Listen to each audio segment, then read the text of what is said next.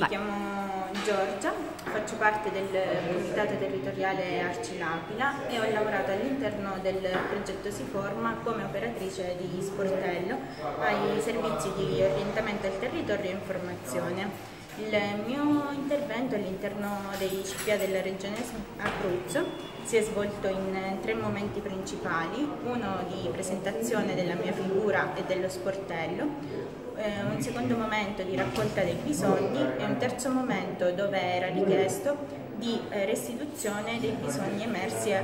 nei colloqui individuali. Eh, questo tipo di intervento ha avuto come obiettivo eh, l'informazione e eh, un orientamento proprio dei servizi che sono presenti sul territorio, sia per quanto riguarda eh, legale, quindi come rinnovare ad esempio un permesso di soggiorno, quali documenti servono per richiedere la cittadinanza, oppure mh, anche eh, un orientamento al lavoro, quindi per l'importanza del curriculum vitae,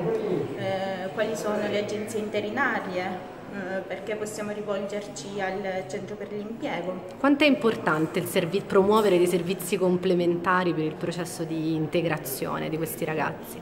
Io credo che sia molto importante, soprattutto perché i ragazzi nel momento in cui arrivano qui spesso sono disorientati e non hanno mh, diciamo, delle indicazioni giuste ed esatte